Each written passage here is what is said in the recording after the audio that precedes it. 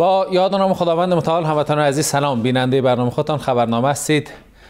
متاسفانه از غمگین ترین کشور جهان طبق آماری که اعلان شده و البته تاریک ترین پایتخت جهان کابل جان به برکت برشنا. خدمت هر شود وضعیت پرچاوی برق و تاریکی خانه های ما و شما بر هیچ کس پوشیده نیست. و الحق اگر کابل را تاریک ترین پایتخت جهان هم نام بگذارن به مسما نمی باشه. اما علا بلا گردن ازبکستان. شاروالی محترم تا حال هیچ وقت در هیچ یک از ای بی برقی ها نگفته که ما نتانستیم نمی‌تونیم یا نمیشه. همیشه یا ازبکستان مقصر است یا هم تاجیکستان مثل دفعه گفتن که ازبکستان نمیفهم برقش چرا خمی شده که از ما برق کم شد یا هم برادران کاملا ناراضی طالب عرض بکنیم که پایه های برق چپه می‌کردن گناه سر از اونا بود. یک طرف اما در این وضعیت یک گپ دیگه آدم یک رقمی چی میگن؟ زور میته که او گپ چیسته که در پارلمان آمدن و از مسئول برشنات مسئولین حالا چند نفر بودن تقدیر کردن. خب این بخشش دیگه خودتان می‌فهمید چی میگم بگذاریم. همون رئیس صاحبا یا مسئولین برشنا که تقدیر میشن یک نصیحت برشان بکنیم که سلای گور گفت به غرض یا به مفاد نیست دیگه. سبا نشوه که فابریکه و خانه و دکان و سرای و بیلدینگ نفر هیچ بیل برق نشناسه. خلاصه خدا حق همین شهدای جنبش روشنایی را که پنج سال پیش پیش بینی کرده و هشدار دادن بر ما مردم ببخشه که ما ملت وقت سکوت کردیم و این هم سمرش این روزهای تاریک تاریک ترین پایتخت جهان. اما رویداد تروریستی امروز در نوع خود میشه گفت بی سابقه است. هرچند در یک از روزهای عید بود به خیالم یک چند وقت همزمان با تحلیف رئیس جمهور هم از این شیوه راکت, راکت پرانی استفاده کرده بودند صورت گرفته بود کار. اما این رقم واضح و بر مردم کشتن. نفهم دیگه حمله کوری که هیچ هدفی نداشته و تنها و تنها هم خیلی فر کردن که یک جای فرود بیا و 100 درصد مناطق ملکی و خانه های ملکی که متاسفانه چند تن از هموطنان ما شهید شدن و نزدیک سی و چند نفر دیگه زخمی داشتیم. چرز بکنم همو تئوری کشتن با هزاران زخم جنرال پاکستانی فکر می‌کنم که وارد مرحله آخر آخر خود شده باشه دیگه. جناب رئیس جمهور نفهم که به عمران خان چی گفته یا چی کرده که این رقم زخم زدن تا این حد پروا و علنی شروع شده. امید که همون نفر قابلی پلو نداده باشید از اینجا روان کرده باشید. چرا که بدال عادت داشتن قابلی پلو چیز پیشان چندان خوب مزه نکرده باشه و قار شده باشن دیگه. یا شاید هم جناب رئیس جمهور همون وعدهشان را در قبال پاکستان فراموش کرده باشند و جناب خان را قهر کرده پس روان کرده باشند کدام وعده؟ همون وعده ای که قرار بود سیاست خارجی افغانستان از مجرای پاکستان بگذارد بالاخص در مورد هند. اینی هم سندش. 2013 در یک سفرهای سفر آخرم به امریکا. که بزرگای امریکا به ما گفتن که شما باید که سیاست خارجیتان حداقل در مورد هند زیر اثر پاکستان بسازیم او ما یادداشت داریم. بله صحبت جناب کرزی شنیدید که چرا امضا نکرد و هدف امریکایی ها خاص امریکایی ها چی بود؟ فکر می‌کنم یک مدار مهم بود کوتاه هم بود. یک دفعه دیگه هم بشنویم که می گپ چی بود اگر که درست متوجه نشده باشیم. 2013 در یک سفرهای سفر آخرم به امریکا که بزرگای امریکا به ما گفتن که شما باید که سیاست خارجیتان حداقل در مورد هند زیر اثر پاکستان بسازیم او رو ما یادداشت داریم. بله امید که همگی متوجه شده باشیم که نفر چه چیزهایی را خواسته بود و امروز هم طبیعتا عملی میشه چرا که جناب رئیس جمهور رو کاغذش امضا کردن دیگه. امروز باید عملی می‌کردن. اگر عملی نکرده باشین خب طبیعتا جناب خان قار پس رفتن. اما هموطنان عزیز بدانید که دشمن با خلق وحشت و حمله های رقمی کور در قلب پایتخت زیبای ما امید به زندگی نسل امروز را نشان نگرفتن اونا می‌خواین که نسل امروز خانه به دوش و افغانستان هم برای همیشه حیات خلوت حیات خلوتشان باشه و در فقر هم باشه. این جنگ است بین اراده ما ملت بزرگ افغانستان و تروریسم. و نسل فعلی هم خوب خوب است بدانن که این چیزهایی را که امروز دیدید و می‌بینید اکنون فراموش نکنید که چه کسانی این روزها رو بر سرشون آوردن. چون ممکنه سبا دیگه سبا بیان که ما در شار چکر بزنن و کنار ما چای سبز هم بنوشن. این صحنه رو هیچ وقت فراموش نکنید اگر که می‌خواهید این روزها دوباره تکرار نشود.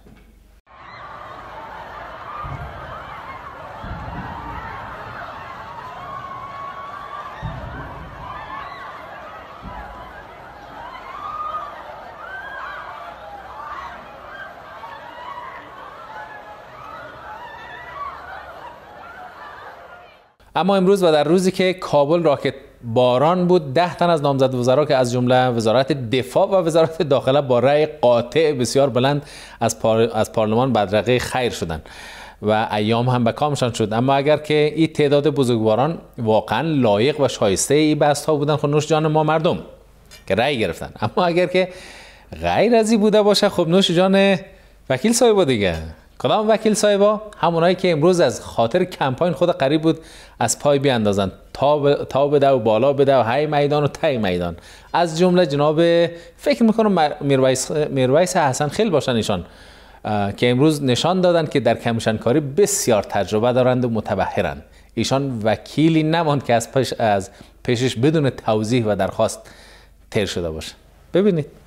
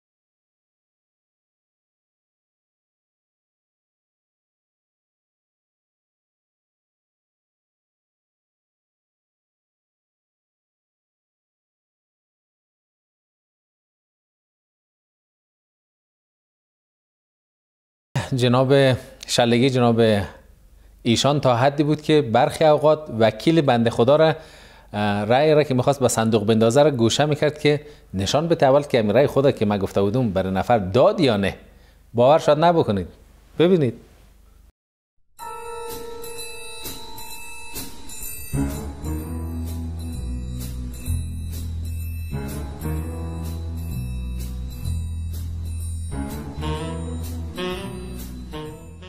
خب البته بودن کسانی هم که خود شیرینیشان نزد جناب حسن خیل بسیار زیاد بود. مثل این وکیله صاحب که پیش از انداختن رأی یک بار به یادش آمد که به جناب حسن خیل امیر رأی نشان بتون بعد از او یک شیرین کاری را که نشان دادن باز رأی انداختن به صندوقش. ببینید.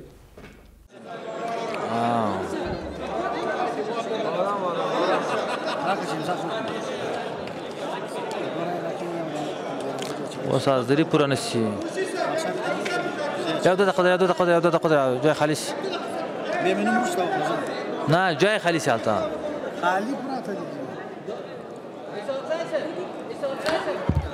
اسحاق زاده صاحب جمعه صوفی والا خیر زمین خوب دیگه نه وقت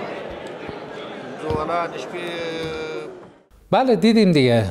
این وضعیت امروز بود اما این رأی نشان دادن ها آیا قانونی بوده و هست یا نه؟ شما چه فکر می‌کنید؟ طبیعتا نباید باشه دیگه. اینی هم سندش.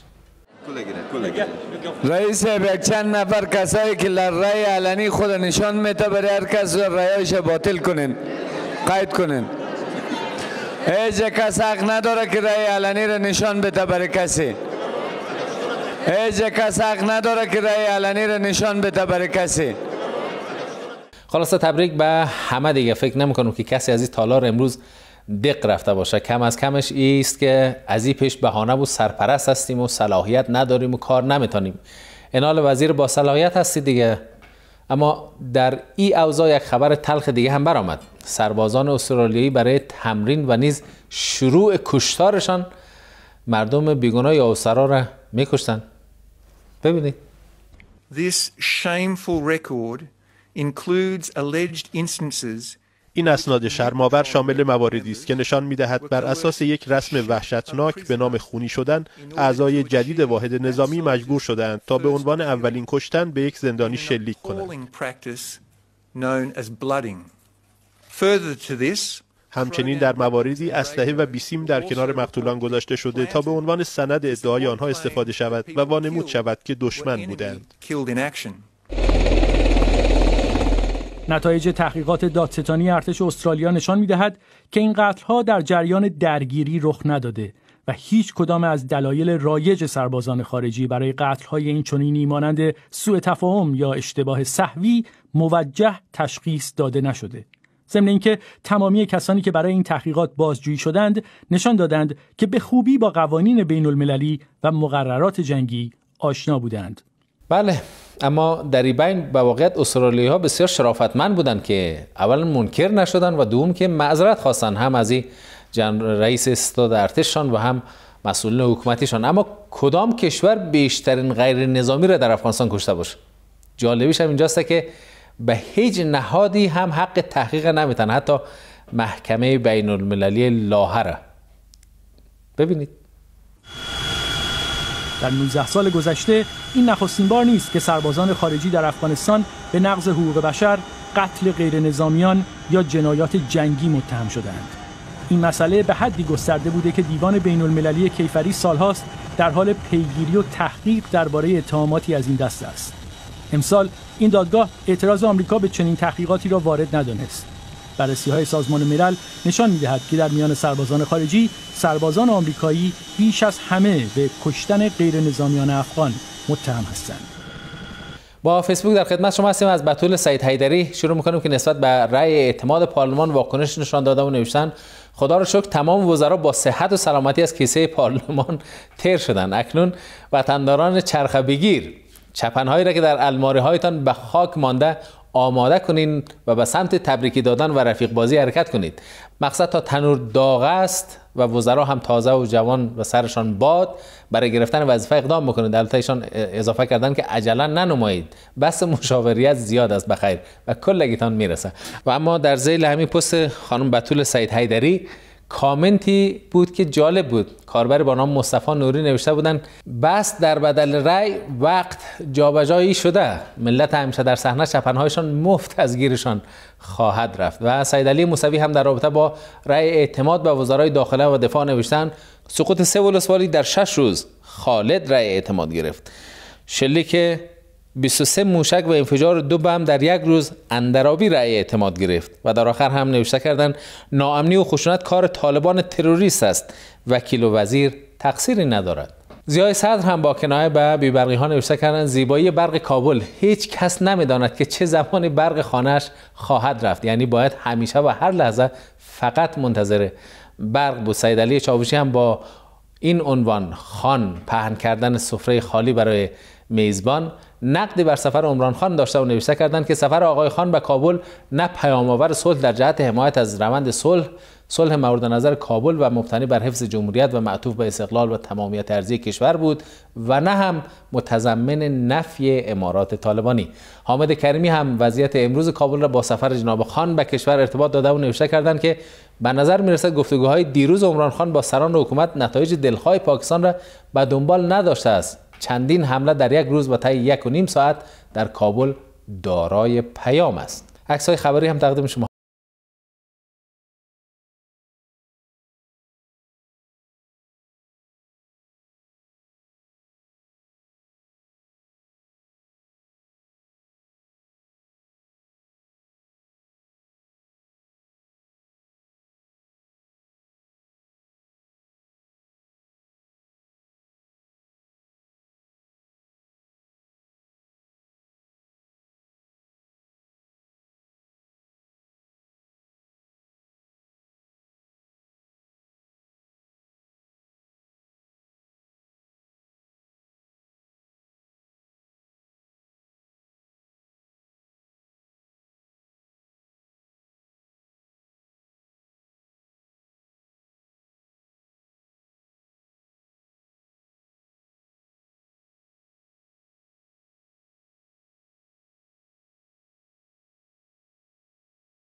دو کاریکاتور زیبا هم ببینید.